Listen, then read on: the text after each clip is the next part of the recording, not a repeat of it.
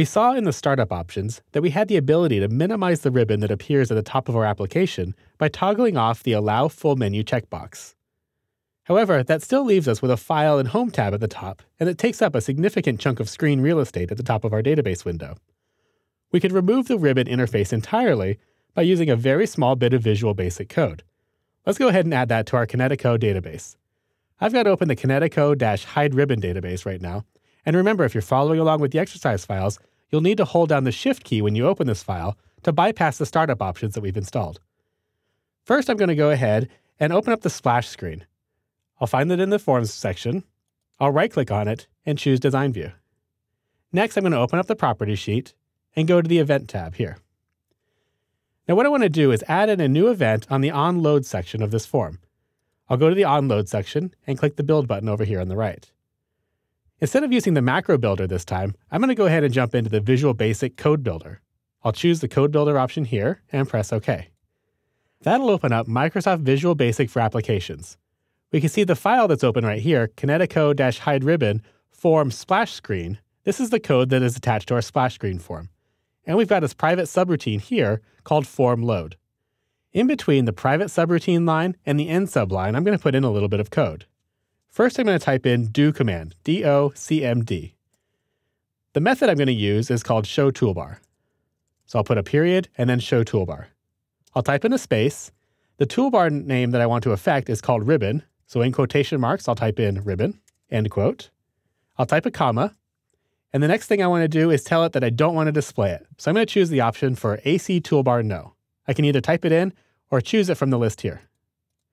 I'll double click on it to choose it and I'll press enter to finish the line. If everything turns black, that means you've typed in the code correctly. If you have any red code, you need to go through and figure out what the typo is.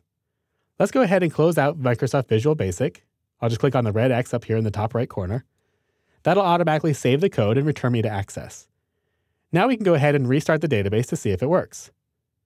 Let's go ahead and close the file here. It's going to ask me if I want to save the changes to the splash screen, so I will. And now I'll go ahead and open up the file without holding down the Shift key. So I'll find the Kinetico hide ribbon file here. I'll double click on it. I get my little pop-up message here telling me if anything is wonky that I can contact myself. Go ahead and say OK.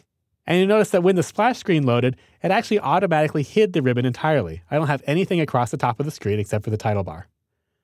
Let's go through and add a few steps to this main menu screen so that we can reveal and hide the ribbon as needed. I'll press the Exit Database button here to close out of the database. And back in Windows Explorer, I'll find the file. I'll hold down the Shift key this time to bypass the startup options, and I'll double click it. Now that we have our database open, I want to go ahead and create a new options menu. I'm going to borrow some of the elements that we've already designed inside of this main menu reports file so we keep a consistent look to our database. I'll find main menu reports here. I'll right click and go into design view. I'm going to go ahead and make a marquee selection by clicking and dragging a rectangle to choose the blue rectangle the word report menu at the top, and this button over here on the right. I'll go ahead and press Control C on my keyboard to copy those elements to the clipboard. Okay, let's go ahead and close out this form. I'll press Control W to close that form, and we'll create a new form. Go to the Create tab, Form Design.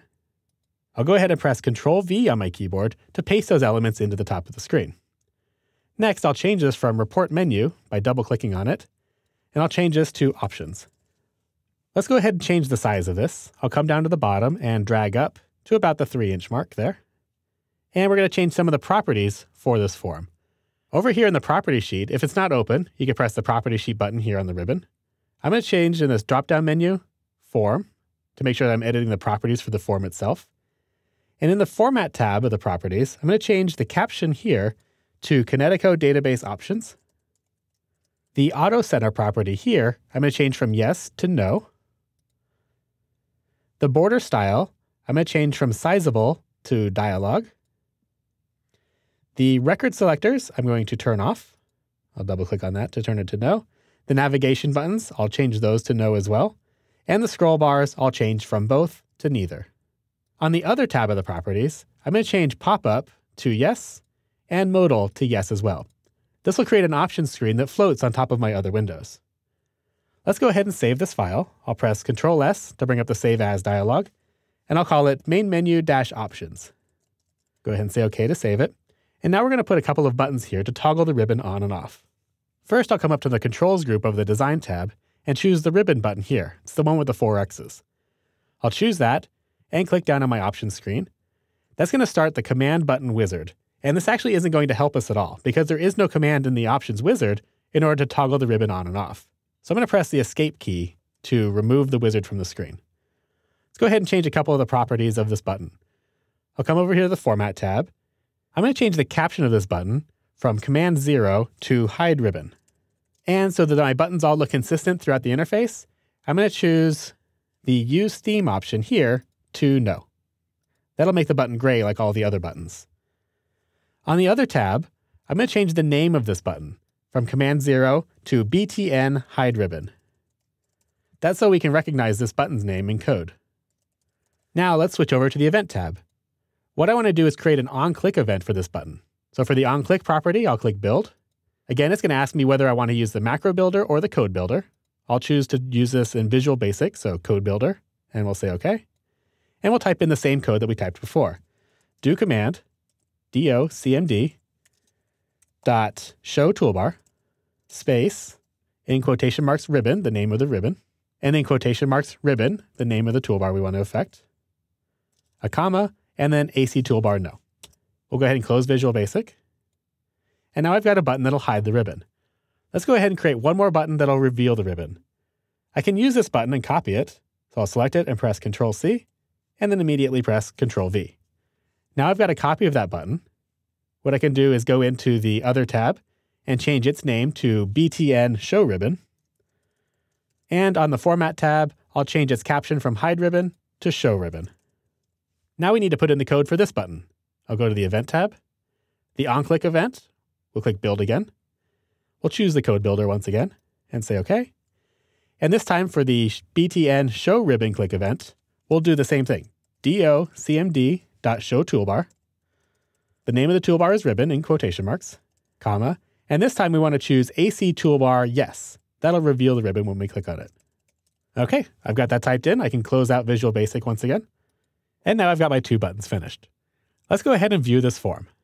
Click on the Form View button right over here on the ribbon. And you can see that I've got a pop-up window that shows my options screen.